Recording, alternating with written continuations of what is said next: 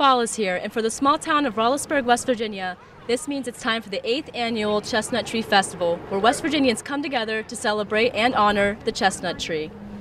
The festival brings together those passionate about the chestnut tree to have scientific lectures and education about the tree's restoration. But what's most important to the festival's director, Joe Nassif, is that the people come together to celebrate what makes the chestnut tree so important. It's not as much about the research and the science here going on, it's about the people. We have to get people involved. So we like to be people oriented here. We're, we're friendly people, you know, we, we just never met a person who's a stranger. Plenty of people do come together, young and old, as the people of Rowlesburg have a chance to socialize and sell homemade items from jellies and jam to candles and sewed creations.